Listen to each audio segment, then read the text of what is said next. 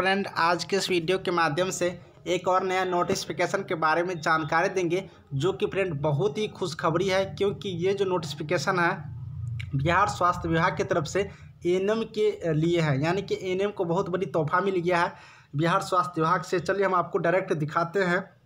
जो स्वास्थ्य मंत्री ने आदेश जारी किया है, आदेश दिए हैं वो तोहफा। साथ ही आशा कार्यकर्ता के लिए भी इम्पोर्टेंट है तो दोनों कैंडिडेट यहाँ पर गौर करके देखेंगे। फ्रेंड बता दूँ कि अगर आप लोग आज का नोटिफिकेशन देखोगे, आज का पेपर न्यूज़ देखोगे तो ये नोटिफिकेशन आप ज़रूर देख पाएँगे। या अगर आप लोग टेलीग्राम ग्रुप में ज्वाइन नहीं हुए हो तो टेलीग्राम ग्रुप का लिंक आपको डिस्क्रिप्शन में मिल जाएगा ज्वाइन हो जाइए, क्योंकि वहाँ पर कोई भी नया वैकेंसी आता है तो हम अपडेट करते रहते हैं। फ्रेंड बता दूँ कि 114 महिला स्वास्थ्य कर्मियों को मिला सम्मान। आशा को ड्रेस खरीद के लिए मिलेगी 500 के अतिरिक्त राशि। यानी कि और डिटेल्स देखिए।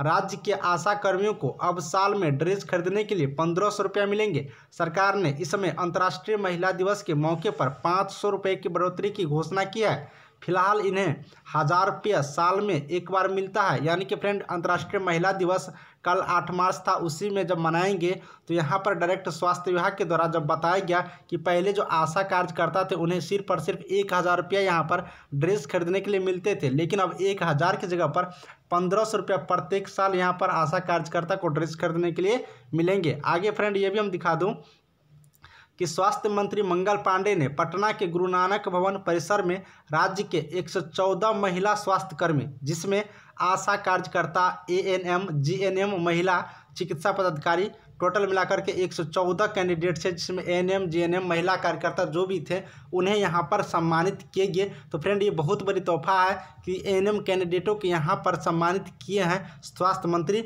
डायरेक्ट जिससे कि एन एम को कार्य करने में और रुचि बढ़ेंगे अगले वर्ष के लिए और आगे के लिए करते रहेंगे। फ्रेंड ये भी बता दूँ कि इन्होंने बताया कि उत्कृष्ट कार्य एवं सार्वधिक टीकाकरण करने के लिए सम्मानित किया गया।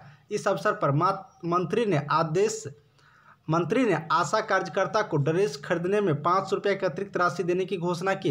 यानी कि अब आशा कार्यकर्ता को पाँच सौ रुपया ज़्यादा मिलेगा, जो कि राज्य भर में लगभग नब्बे हज़ार आशा कार्यकर्ताओं को यह लाभ मिलने वाला है। तो फ्रेंड, यही नोटिफिकेशन है कि ए सहित सारे आशा कार्यकर्ता और जीएनएम एएनएम कैंडिडेटों के यहाँ पर सम्मानित तो किया ही गया है और आशा कार्यकर्ता को नब्बे हज़ार जो बिहार में फ़िलहाल कार्यरत हैं, उन्हें स्वास्थ्य मंत्री डायरेक्ट यहाँ पर आदेश दिए कि अब पंद्रह सौ रुपया प्रत्येक साल इन्हें ड्रेस खरीदने के लिए मिलेंगे। तो फ्रेंड इसी तरह के अगर आप लोग नया नोटिफिकेशन पाना चाहते हो तो बिल्कुल चैनल को सब्सक्राइब करें। हमें सपोर्ट करें, जिससे कि हम आपके लिए न्यू न्यू वीडियो बनाते रहेंगे। Thank you